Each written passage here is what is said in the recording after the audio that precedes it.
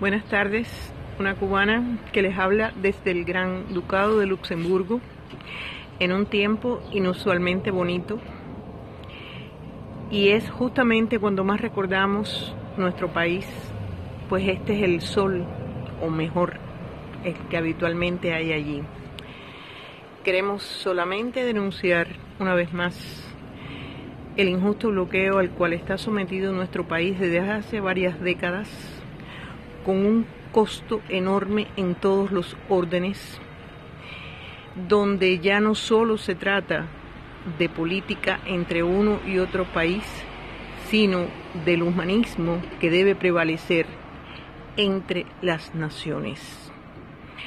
Cuba es un país que ha pagado, está pagando y seguirá pagando un alto costo por este bloqueo.